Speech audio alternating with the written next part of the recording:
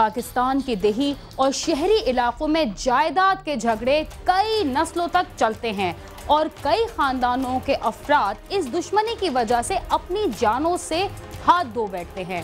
ज़मीन तो वहीं की वहीं रह जाती है, मगर इसकी खातिर लड़ने वाले हमेशा के लिए ज़मीन की गोद में सो जाते हैं।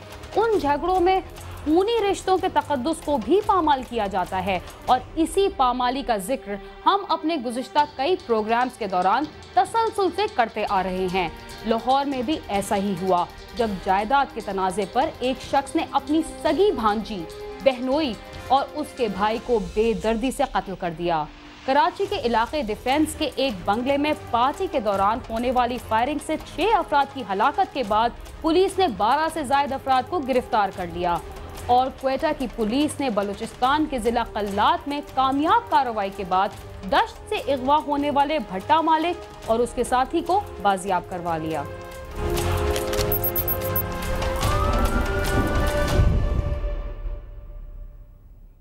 जन, जर और ज़मीन के झगड़े पर कत्ल कोई नई बात नहीं। हर जुर्म के पीछे इन्हीं तीनों अवामिल में से कोई ना कोई ज़रूर कार फरमा होता है। लाहौर में भी जायदाद के तनाज़े पर एक शख्स ने अपनी भांजी बहनोई और उसके भाई को कत्ल कर दिया।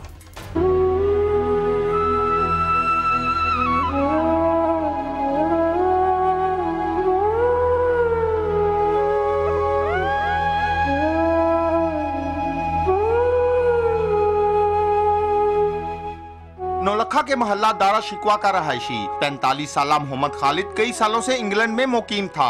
तकरीबन एक माह कबल वो वतन वापस आया। उसकी बड़ी बहन मोहल्ला दारा शिकवा, जबकि दो छोटी बहनें तफैर रोड कैंट में मुकीम थी। मोहम्मद खालिद ने अपनी बहनों ऐसी वरासती जायदाद में ऐसी हिस्सा मांगा, मगर उन्होंने इनकार कर दिया, जिस पर भाई बहनों में तनाजा बढ़ गया। मोहम्मद खालिद ने उन्हें संगीन नतज की धमकियाँ दी। इस झगड़े के पाँच रोज बाद मोहम्मद खालिद दोपहर के वक्त अचानक पहले अपनी बड़ी बहन के घर गया, जहाँ वो मौजूद न थी। जिस पर उसने अपनी भांजियों 24 साल फायजा और 22 साल हिना को फायरिंग करके जख्मी कर दिया और फरार हो गया। उन्हें फौरी तबी इमदाद के लिए मियो अस्पताल पहुँचा दिया गया जहाँ फायजा जख्मों की ताब न लाते हुए दम तोड़ गई गुस्से में आकर गोलियाँ मार दी। आपकी बहन को आपको जी जायदाद के लिए। फायरिंग से इलाके में खौफो हरास फैल गया। महल्लेदारों की बड़ी तादाद मौके पर जमा हो गई। इतला मिलते ही नौलखा पुलिस मौके पर पहुँच गई और फायजा की लाश पोस्टमार्टम के लिए भेज दी। दूसरी जानिब, मोहम्मद खालिद वहाँ से फरार होकर पहले गुजरपुरा के मोहल्ला सिंहपुरा गया, जहाँ एक रिश्तेदार के घर पर ताला लगा हुआ था। वो दरवाजे पर गोलियाँ बरसाने के बाद वहाँ से तफैर रोड कैंट अपनी बहनों के घर पहुँच गया, जो दो सगे भाइयों से ब्याही हुई हैं। वहाँ उसका बहनोई खुर्शीद और उसका छोटा भाई मजहर मौजूद थे। मुलजम ने उन्हें भी फायरिंग करके मौत के घाट उतार दिया और महल्लेदारों के जमा होने पर हवाई फायरिंग करते हुए फरार हो गया।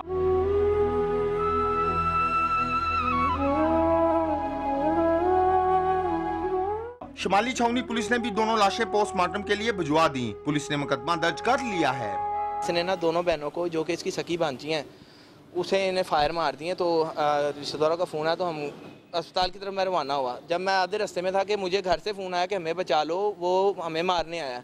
घर वालों ने वो एक दरवाजे से अंदर आया तो दूसरे दरवाजे से घर वालों ने सबने निकल के जान बचाई।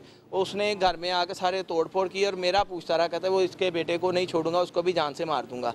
उसके अलावा पता नहीं वो कैंट में भी गया, वो भी मेरी कज़न है, उसके खामंद और उसके भाई को भी सुना कि उसने जान से मार दिया हुआ है। खुर्शीद भाई और उनके भाई मदर भाई को। उनका वो प्लाजा है, उनका वो मसला था जायदाद का तो वो कह रहा था, वो इसके बाप ने वो पुप्पो को पुप्पो के नाम पे लगाया हुआ था। उनको बेटी बनाया हुआ था मेरी पुप्पो को, जो कि इसकी खाला लगती थी। और ये जो भांजियाँ थी, इनकी माँ मर चुकी थी, और ये वो मेरी पुप्पो ने पाली हुई थी, जो कि इसके बाप ने बेटी बनाया हुआ था उन्हें। उसके बाद ये उसके प्लादे के पीछे पड़ा रहा, वो फोत हो गई। उसके बाद तो हमने कभी पूछा ही नहीं कि इसका क्या बना, क्या ना उसमें वल्दियत हमारे दादा अबू की है, जिसकी वजह से ये उनको कहता था, वो तो मैं आप उसके, वो वारिस ना भांजे वो लड़कियाँ जो थी, वो और हम और इसकी बहन, जिसके खामन को इसने मारा है, इसकी वजह से इसने ये सारा कुछ किया। डीआईजी इन्वेस्टिगेशन लाहौर अली अमर मलक ने मुलजम की गिरफ्तारी के लिए दो तफ्तीशी टीमें तश्कील दे दी हैं। तफ्तीशी टीमों के मुताबिक मुलजम को जल्द गिरफ़्तार कर लिया जाएगा। मकतुलीन के महल्लेदारों का कहना है कि भाई बहन जायदाद का झगड़ा बातचीत से ही तय कर लेते तो बात कत्लो गारत तक ना पहुँचती। कैमरामैन मिर्ज़ा मोहम्मद ताहिर के साथ आमिर शहजाद, समा, लाहौर।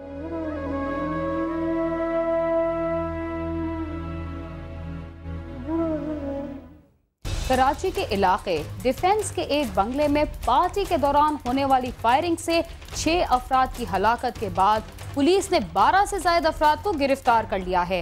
तहम पुलिस इन मामला को छुपाने की कोशिश कर रही है।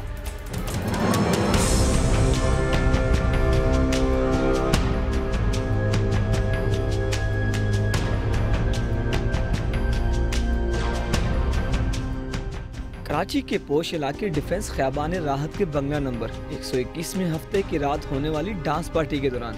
बासल सियासी शख्सियात के बेटों और पोतों के दरमियान होने वाले झगड़े ने उस वक्त खौफनाक तसादम की शक्ल इख्तियार कर ली, जब दोनों ग्रोहों से ताल्लुक रखने वाली शख्सियात के सिक्योरिटी गार्ड्स ने एक दूसरे पर अंधाधुंध फायरिंग कर दी। तफ्तीशी जराये का कहना है कि जिस बंगले में डांस पार्टी हो रही थी, वो बंगला फैसल हुसैन नामी शख्स ने बीस हज़ार रूपए के इवज एक रात के लिए एक सियासी जमात के मुकामी अहदेदार और डांस पार्टी के ऑर्गेनाइजर आरिफ राजड़ को दिया था। जराये का कहना है कि जिस बंगले में ये वाक़ हुआ, इसमें इससे कबल भी डांस पार्टियाँ मुनद की जाती रही हैं, जिनकी गिजरी पुलिस से बाकायदा इजाज़त ली जाती थी। ऐनी शाहिदीन के मुताबिक हफ़्ते की रात पार्टी में शिरकत के लिए, जब सबक वजी अला बलोचिस्तान अकबर भुगटी का पोता ताले भुगटी अपने कज़न जायद भट्ट समेत बंगले में पहुँचा तो बंगले की सिक्योरिटी पर तैनात गार्ड्स ने ताले बुकटी के कज़न जायद भट्ट को टिकट न होने पर अंदर जाने की इजाज़त देने से इनकार कर दिया, जिस पर ताले बुकटी के साथ आए हुए इसके सिक्योरिटी गार्ड्स और आरिफ राजर के मुसल्ला गार्ड्स में तल्ख कलामी के बाद झगड़ा हो गया और इस दौरान होने वाली फायरिंग से सत्रह अफराज जख्मी हो गए, जिन्हें जिना और क्लिफ्टन बिलाउल हाउस के करीब वाक़ निजी अस्पताल पहुँचाया गया था, मगर यके बाद दीगरे छह अफराद हलाक हो गए थे। हलाक होने वालों में अकबर बुकटी का पोता ताले Bugti Kamran Gul Mark Joseph doctor Mohammad Iqbal Mohammad Kamran और दीगर शामिल थे। 24 घंटे बाद गिजरी पुलिस ने सरकारी मुदैत में इस वाक़े का मुकदमा दर्ज कर लिया।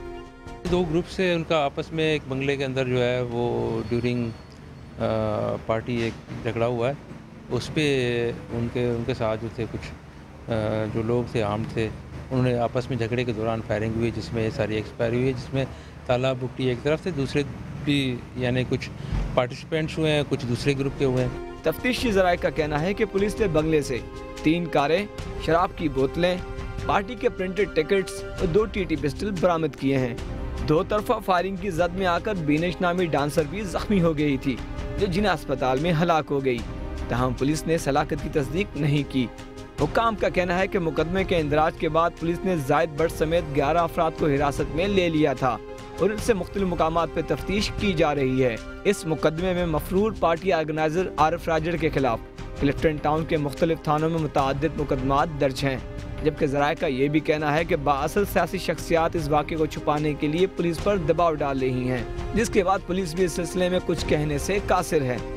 शहर के मुख्तलिफ़ इलाकों में पुलिस की सरपरस्ती में गैर कानूनी डांस पार्टियाँ मुनद की जाती रही हैं। और इस दौरान होने वाली फायरिंग में कई अफराद अपनी जानों से हाथ धो बैठे हैं। लेकिन इनका सद्देबाप करने वाले अदारे ही इनकी पुष्पनाई करते हैं। जब तक इनकी सरकूबी नहीं की जाएगी, ये वाकयात इसी तरह पेश आते रहेंगे। सालिक शाह, समा, कराची।